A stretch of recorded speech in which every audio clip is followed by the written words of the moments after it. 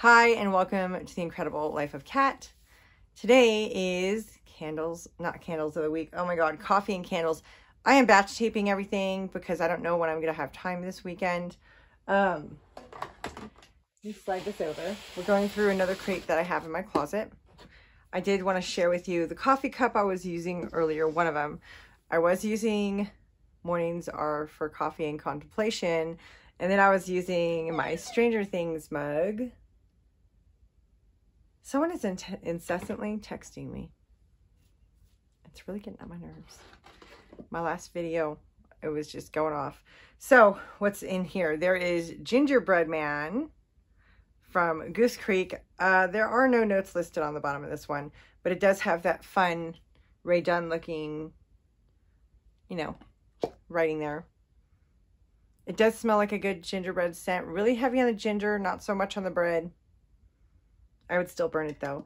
And in case I forgot, if you want to, you can subscribe down below. And speaking of coffees, because I'm actually drinking a mocha right now and not using that coffee cup, my sister bought me a coffee.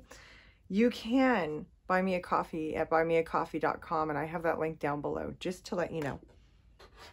And that is not an affiliate link. That money literally would go into whatever coffee fund I have. So the next candle is Into the Night.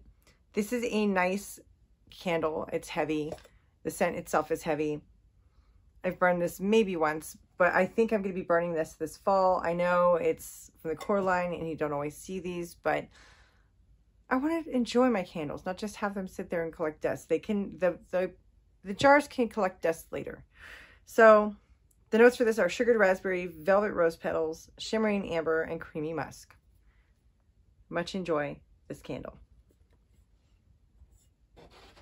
Next one is another one that I bought a few years ago on Mercari and I'm just not using them. So I'm going to start burning them eventually.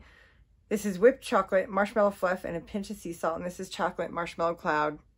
So there's no point in having the candle if you're not enjoying the scent. I can see from a collector's perspective because of the packaging. I think if it's a packaging I really love, I'm going to keep it.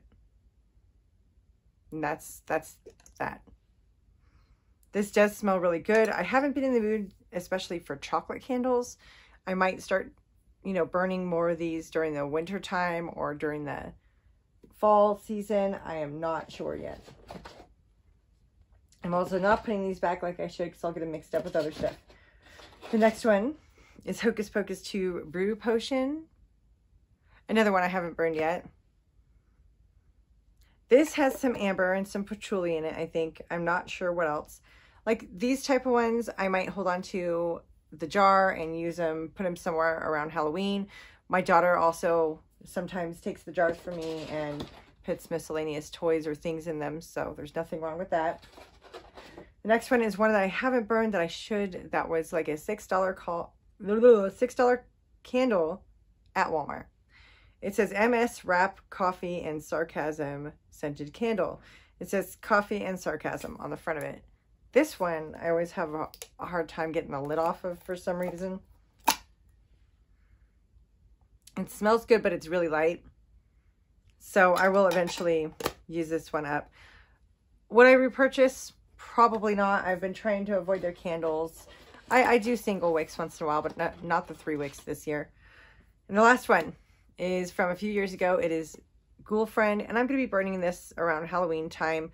I'm thinking in October, I'm saving all my Halloween candles. I don't have that many of them, and what else I'm going to buy for just the month of October.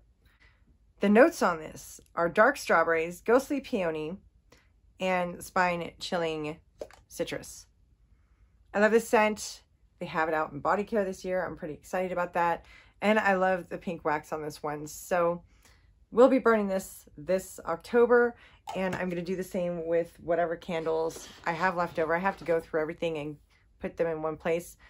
But um, yeah, I'm going to be doing that with whatever Halloween candles I decide to get this year. But that is it for this video. And I will talk to you later. Bye.